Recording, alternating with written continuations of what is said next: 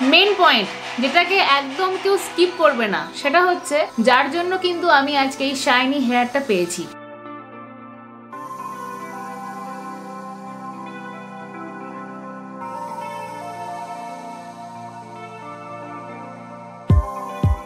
Good morning everyone আশা করি তোমরা সবাই খুব ভালো আছো। আমিও জাস্ট দারুণ আছি। উহ কিছু গরম পড়েছে। মানে একটু ক্যামেরার সামনে বসতে না বসতেই ফ্যানটা অফ না করতে করতে একদম গরম স্টার্ট দেখতে পাচ্ছ? সোয়েটিং শুরু হয়ে গেছে। তার মানে কি? তার মানে হচ্ছে সামার আসতে চলেছে। তো গরমের হাত থেকে স্কিন এবং হেয়ারকে তো বাঁচাতে হবে। যে করেই হোক না কেন, কোনোভাবেই স্কিন এবং হেয়ারকে ড্যামেজ হতে দেওয়া যাবে না। গরম থেকে স্কিন এবং হেয়ারকে বাঁচানোর জন্য বাজারে তো অনেক কিছু প্রোডাক্ট অ্যাভেলেবেল আছে। এগুলো তোমরা খুব সহজেই ইউজ করতে পারো। কিন্তু ঘরোয়া রেমেডি যেগুলো আছে, আমার মনে হয় সেগুলো ইউজ করাটা উচিত। কারণ মার্কেটে যেগুলো অ্যাভেলেবেল সেইগুলোতে প্রচুর পরিমাণে কেমিক্যাল থাকে এবং তার জন্য তোমার চুল আরও বেশি পরিমাণে ড্যামেজ হতে পারে। তো তার থেকে ভালো নয় যে ঘরের কিছু উপকরণ দিয়ে আমরা সেটা নিজেরাই বানিয়ে ফেলি তো আজকে তোমাদের জন্য নিয়ে চলে এসেছি ঘরোয়া উপকরণে। কীভাবে তুমি নিজের চুলকে সামার থেকে প্রোটেক্ট করতে পারো এবং ইজিলি এরকম একটা শাইনি হেয়ার তোমরা ঘরে বসেই পেতে পারো। একদমই তোমাদের স্যালনে যাওয়ার দরকার নেই, ঘরে বসে ইজিলি তোমরা এরকম একটা হেয়ার পেতে পারো কিন্তু। তো তার জন্য কি কি অ্যাপ্লাই করতে হবে এবং সেটার ডিটেলসে আমি এই ভিডিওতে দেখাবো তোমাদেরকে। এবং মেন পয়েন্ট যেটাকে একদম কেউ স্কিপ করবে না। সেটা হচ্ছে হেয়ার মাস্কের সাথে সাথে এই ভিডিওতে তোমাদেরকে আজকে দিতে চলেছি হোম মেড কন্ডিশনারের টিপস যার জন্য কিন্তু আমি আজকে এই শাইনি হেয়ারটা পেয়েছি। হেয়ার মাস্ক তো রয়েছেই, তার সাথে রয়েছে হোম মেড কন্ডিশনারের টিপস তোমাদের জন্য। চলো, ভিডিওটা স্টার্ট করা যাক, আর বেশি বকবক করছি না, একদম সোজা যাচ্ছি ভিডিওতে। তো চলো, সবার প্রথমে বানিয়ে নেওয়া যাক হেয়ার মাস্ক অ্যান্ড দেন ওটাকে অ্যাপ্লাই করে নেওয়ার পরে আমি তোমাদেরকে দেখাচ্ছি হচ্ছে কন্ডিশনারের টিপসটা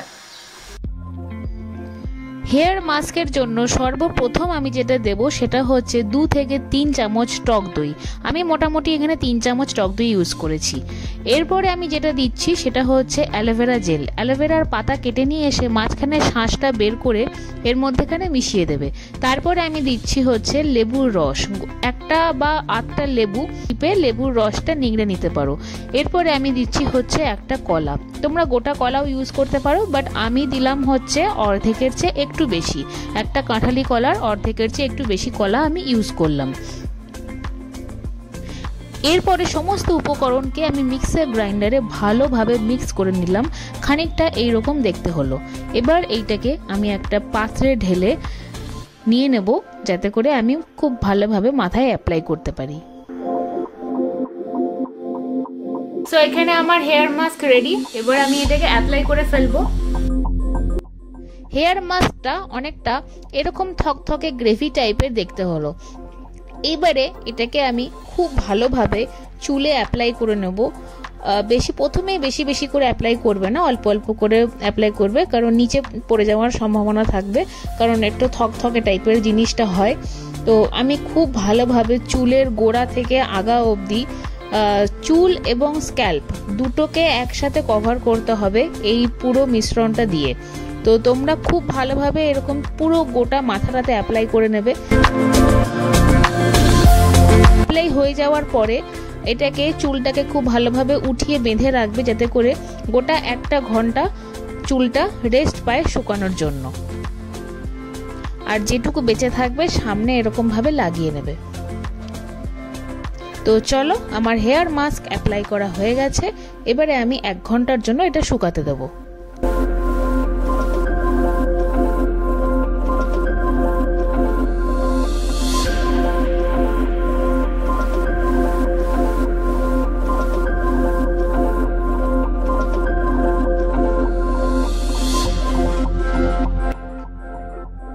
ঘণ্টা আমার ওভার হয়ে গেছে। এবার আমি চলে এসেছি সেই সিক্রেট কন্ডিশনার টিপসটা তোমাদেরকে দেখানোর জন্য।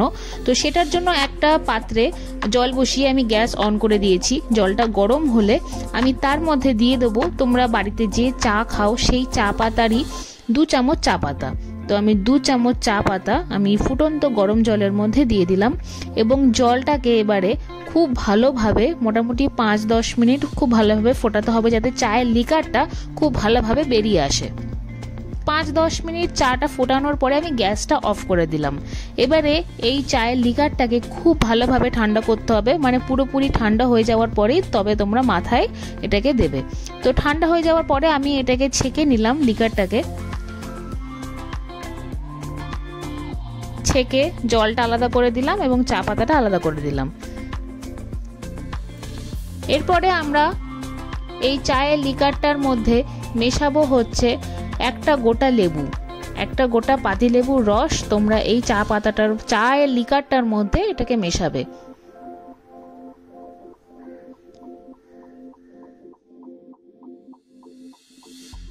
খুব ভালোভাবে মিশিয়ে নিলে এবারে এটাকে তোমরা স্নানের পরে মাথায় অ্যাপ্লাই করবে। এইবারে সব কিছু হয়ে যাওয়ার পরে আমি হেয়ার মাস্কটা ধুতে চলে এসেছি। খুব ভালোভাবে জল দিয়ে কচলে কচলে ধুয়ে নেবে, কারণ কলার যে ছোট ছোট দানাগুলো, ওগুলো উঠতে চাইছে না। তো তোমরা অনেকবার করে ভালোভাবে জল দিয়ে ধোবে এবং তারপরে শ্যাম্পু করে নেবে। যে যা শ্যাম্পু ইউজ করো সেটাই করতে পারো। তো আমিও আমার শ্যাম্পু ইউজ করে খুব ভালোভাবে পুরো মাথাটাকে ভালোভাবে ক্লিন করছি। এরপরে জল দিয়ে আমি পুরো আবার ভালোভাবে ক্লিন করে নিলাম। এরপরে আমি চায়ের লিকারটা মাথায় ভালোভাবে দিয়ে দেবো এবং টাওয়াল দিয়ে মাথাটাকে ভালোভাবে জড়িয়ে রেখে দেবো যতক্ষণ না চুলটা নিজে থেকে শুকাচ্ছে। চুল নিজে থেকে শুকিয়ে গেলে খুব ভালোভাবে তারপরে চিরুনি দিয়ে তুমি, তোমরা চুলটাকে ব্রাশ করে নেবে। কারণ ওই যে বললাম কলার যে ছোট ছোট দানাগুলো, ওগুলো চুলে এমনভাবে আটকে রয়েছে মানে কোনো শ্যাম্পু করলেও যে বারবার করে যাচ্ছে না। তো ওটা একমাত্র উপায় হচ্ছে যখন চুলটা পুরোপুরি শুকিয়ে যাবে, তারপরে খুব ভালোভাবে ব্রাশ দিয়ে হেয়ারটাকে ব্রাশ করে নেবে তাহলে এরকম একটা দারুণ লুক তোমার চুলে চলে আসবে। আর এই যে হেয়ার মাস্কটা আমরা অ্যাপ্লাই করলাম, এটার একটা অ্যাডভান্টেজ হলো এটা চুলটাকে খুব নরম রাখতে সাহায্য করে, কারণ যেহেতু কলা থাকে, তো চুলটাকে প্রচণ্ড পরিমাণে নরম রাখে এবং গরমেও তোমার চুলটা ড্যামেজ হয় না। স্নান টান করে নেওয়ার পরে তোমরা ভালোভাবে হেয়ারটাকে ড্রাই করবে, কিন্তু অবশ্যই অবশ্যই করে আর একটা কথা বলে রাখি, হেয়ার ড্রায়ার দিয়ে কখনোই ড্রাই করবে না হেয়ারকে। হেয়ার আরও বেশি পরিমাণে ড্যামেজ হয়ে যায়। তো যার জন্য কখনোই হেয়ারে আমি তো বলব কখনোই হিট দেওয়া উচিত না। হ্যাঁ এখন যদি অকেশনালি যখন যারা হিট ইউজ করে হেয়ার কার্লি করার জন্য বা স্ট্রেট করার জন্য, সেটা ঠিক আছে। বাট আমি বলব যে যখন মানে গরম পড়ে গেছে, তো তখন তোমরা কেউ চুলে হিট ইউজ করো না। মানে হেয়ার ড্রায়ার ইউজ করে চুল শুকিও না। তো এটা আমার তরফ থেকে একটা টিপস। আর চায়ের লিকার যেটা ইউজ করলাম, চায়ের লিকারের সাথে হচ্ছে লেমন জুস তো সেইটা যখন তোমরা চুলে ইউজ করবে, এরকম একটা এফেক্ট পাবে। ডেফিনেটলি পাবে। আমি এর আগে প্রচুরবার ইউজ করেছি। তাই জন্য ভাবলাম যে চলো তোমাদের সাথে টিপসটা শেয়ার করা যাক। আশা করি অনেকের হয়তো হেল্পফুল হবে। আর কারা কারা তোমরা ট্রাই করেছ এবং ট্রাই করে আমাকে জানিও ফিডব্যাক যে কেমন কি। আশা করি তোমাদের সবার হেল্পফুল হবে। হেয়ারটা ড্রাই হয়ে যাওয়ার পরে ভালোভাবে চিরুনি দিয়ে ব্রাশ করে নেবে হেয়ারটাকে। কারণ কলার যে ছোট ছোট দানাগুলো থাকে, ওগুলো না হেয়ারের মধ্যে লেগে থাকে। মানে শ্যাম্পু হয়ে যাওয়ার পরও, অনেকবার ধোয়ার পরও। তো তার জন্য যখন শুকিয়ে যাবে হেয়ার, ভেজা অবস্থায় কেউ কিন্তু চুলে ব্রাশ দেবে না। যখন পুরোপুরি শুকিয়ে যাবে হেয়ার, তারপরে কিন্তু তোমরা খুব ভালোভাবে ব্রাশ করে নেবে। আমার চুলে যেমন এখন এখন মানে একটু আগে অবধি অনেক ছোটো ছোটো ছোটো ছোটো সাদা সাদা এরকম ছিল, লেগেছিল যেগুলো অ্যাপ্লাই করেছিলাম। তো এখন একদম আর কিছু নেই, খুব ভালোভাবে আমি হেয়ার ব্রাশ করে নিয়েছি। তো চলো, ভিডিওটা তোমাদের কেমন লাগল? কমেন্টস অবশ্যই অবশ্যই করবে ডেফিনেটলি আর এটাকে তোমরা সবাই অ্যাপ্লাই করবে বাড়িতে। এবং অ্যাপ্লাই করার পরে আরেকবার আমাকে জানিও যে তোমাদের কেমন কি কাজ করল আর তোমাদের কেমন লাগল। তোমাদের হেয়ারে কতটা ইম্প্রুভ হলো সব কিছু আমাকে জানাতে ভুলো না। আর হেয়ার কন্ডিশনের টিপসটাও তোমরা অ্যাপ্লাই করো। আশা করি তোমাদের হেয়ারেও একটা ভালো এফেক্ট আসবে। তো আশা করি তোমাদের এই ভিডিওটা ভালো লেগেছে। যদি ভালো লেগে থাকে তাহলে কি করতে হবে? Do like share and subscribe hashtag moments hashtag মুমেন্টসে এরকম অনেক ছোটোখাটো এরকম কন্টেন্ট আসতেই থাকবে ডেলি ব্লগের সাথে সাথে। তো চলো ভিডিওটা আমি এখানে এন্ড করছি।